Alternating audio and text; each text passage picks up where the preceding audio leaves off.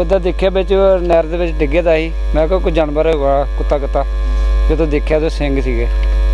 ਫਿਰ ਆਈ ਮੈਂ ਰੌਲਾ ਪਾਇਆ ਸਾਰੇ ਮੁੰਡੇ ਨੂੰ ਬੁਲਾਇਆ। ਕਿੱਥੇ ਆ ਸਿੰਬੋ। ਇਹਨਾਂ ਨੇ ਖਿੱਚ ਕੇ ਕੱਢਿਆ ਬਾਹਰ। ਪਾਣੀ 'ਚ ਡੁੱਬ ਗਿਆ ਦਾ ਪੂਰਾ ਦਲਦਲ ਮਾਨਯੋਗ ਡੀਐਫਓ ਸਾਹਿਬ ਸ਼੍ਰੀ ਰਜੇਸ਼ ਮਹਾਜਨ ਜੀ ਉਹਨਾਂ ਦਾ ਫੋਨ ਆਇਆ ਮੈਨੂੰ।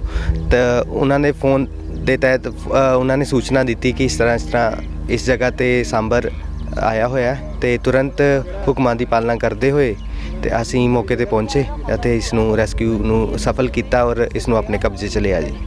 ਸਰ ਹੁਣ ਸਾਨੂੰ ਕਿੱਥੇ ਛੱਡੋਗੇ? ਇਸ ਜੰਗਲੀ ਜਾਨਵਰ ਨੂੰ ਕਤਲੋਰ ਵਾਈਲਡ ਲਾਈਫ ਸੈਂਚਰੀ ਜੋ ਕਿ ਆਪਣੇ ਤਾਰਾਗੜ੍ਹ ਏਰੀਆ ਦੇ ਵਿੱਚ ਹੈਗੀ ਹੈ ਉੱਥੇ ਇਹਨੂੰ ਸੁਰੱਖਿਅਤ ਇਹਨੂੰ ਮਤਲਬ ਟ੍ਰੀਟਮੈਂਟ ਅਗਰ ਲੋਡ ਹੋਏਗੀ ਦੇ ਕੇ ਤੇ ਇਸ ਨੂੰ ਉੱਥੇ ਰਿਲੀਜ਼ ਕਰ ਦਿੱਤਾ ਜਾਏਗਾ। ਸਰ ਇਹ ਜੰਗਲਾਂ 'ਚੋਂ ਆ ਗਿਆ ਦਾ ਹਾਂ ਕਈ ਵਾਰ ਹੋ ਕੀ ਜਾਂਦਾ ਹੈ ਕਿ ਖਾਣੇ ਦੀ ਭਾਲ ਵਿੱਚ ਅੰਦਰ ਬਾਹਰ ਆ ਜਾਂਦੇ ਨੇ ਤੇ ਜਿਸ ਤੋਂ ਬਾਅਦ ਕਈ ਵਾਰ ਲੋਕੈਲਿਟੀ 'ਚ ਵੀ ਚੱਲ ਜਾਂਦੇ ਨੇ। ਤੇ ਹੁਣ ਜਿਸ ਤਰ੍ਹਾਂ ਅੱਜ ਇਹ ਲੋਕੈਲਿਟੀ 'ਚ ਆ ਗਿਆ ਬਸ ਇਹਨੂੰ ਫੜ ਕੇ ਇਹਨੂੰ ਸੁਰੱਖਿਅਤ ਇਹਦੇ ਜਿਹੜਾ ਇਹਦਾ ਘਰ ਹੈਗਾ ਜਿਹਨੂੰ ਜੰਗਲ ਕਿਹਾ ਜਾਂਦਾ ਅਸੀਂ ਉੱਥੇ ਛੱਡ ਦੇਣਾ ਜੀ।